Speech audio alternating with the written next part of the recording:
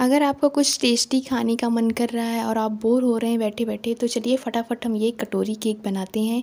ये खाने में बहुत ही टेस्टी लगता है और बच्चों को तो बहुत ही पसंद आता है। तो अपने घर पे बिस्किट से ये केक बनाकर खा सकते हैं, ज़्यादा सामान भी नहीं लगता है और ज़्यादा समय भी नहीं लगता है। ये फटाफट बन के तैयार हो जाता है। हेलो फ्रेंड्स, हमारे YouTube channel cooking with Harchu में आप सभी का स्वागत है। तो चलिए हम इस केक को बनाना स्टार्ट करते हैं। तो आप देख सकते हैं मैंने बिस्किट पहले से इसमें मिक्सी जार में तोड़ के रख लिया था। तो एक ही पैकेट मैंने लिया है। अभी मैं इसको बनाने के लिए ट्राई कर रही हूँ। तो पहली बार मैं बना रही हूँ तो देखते हैं कैसा बनता है। तो देखिए, मैंने इसका पाउडर बना लिया है। एकदम बारीक पाउडर बन के तैयार है। तो बिल्कुल ऐसे ही आपको बनाकर तैयार कर लेना है। तो अब हम इसमें डालेंगे सबसे पहले शुगर। तो ये पिसी हुई मतलब चीनी है। तो दो चम्मच मैंने डाल दिया है क्योंकि बिस्किट भी मीठा होता है। अब इसमें डालेंगे कोको पाउडर। तो थोड़ा सा हम इसमें डाल देंगे, इससे टेस्ट इसका अच्छा आता है। अब इसमें डालेंगे थोड़ा सा मीठा सोडा। तो अब हम दूध डालकर इसको मिक्स कर लेंगे। तो ये मैंने पार्ले जी बिस्किट लिया था। अगर आप कोई और बिस्किट लेना चाहते हैं तो कोई भी बिस्किट ले सकते हैं बनाने के लिए। तो अच्छे से हमें इसे मिक्स कर लेना है। तो एकदम बराबर आपको कुछ देर तक मिक्स करते रहना है। तो देखिए, अच्छे से ये मिक्स हो गया है। बस इतना ही इसका पतला बैटर होना चाहिए। तो अब हम लेंगे कटोरी। तो दो कटोरी मैंने लिया है। तो कटोरी में मैंने आयल पहले से ही लगा दिया था। अब हम बैटर इसमें डाल देंगे। तो आधा आधा दोनों कटोरी में हम डाल देंगे। तो मैंने ज़्यादा बैटर नहीं बनाया था, क्योंकि एक ही पैकेट मैंने बिस्किट लिया था। अगर आप ज़्यादा बनाना चाहते हैं तो दो पैकेट बिस्किट ले सकते हैं। दो पैकेट में कटोरी एकदम भर जाएगी। तो देखिए, मैंने दोनों कटोरी में रख लिया है। कढ़ाई मैंने गैस पर पहले से ही हीट होने के लिए रख दिया था। अब इसमें डालेंगे एक स्टैंड और कटोरी को हम इस पर रख देंगे। तो दोनों कटोरी को हम इस पर रख देंगे। कटोरी मैंने रख दिया है। अब इसको हम ढक देंगे। तो एक थाली मैंने लिया है, इसी से हम इसको ढक देंगे।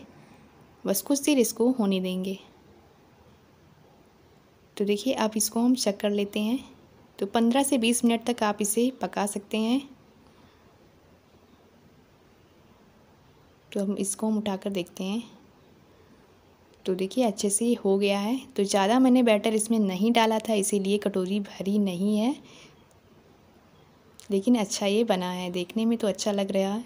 अभी इसको हम निकाल कर देखते हैं। तो बस कुछ देर हम इसे ठंडा होने के लिए रख देंगे। तो एक हम आपको चेक करके दिखा देते हैं। देखिए, अंदर से भी अच्छे से हो गया है। तो देखिए, बिल्कुल भी इस पर चिपका नहीं है।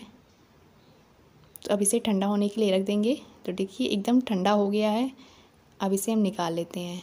तो बहुत ही जल्दी ये निकल भी जाता है। देखिए साइड से छोड़ दिया है। तो देखिए, अच्छे से ये निकल गया है। तो बिल्कुल भी चिपका नहीं है। बहुत ही सॉफ्ट बना है।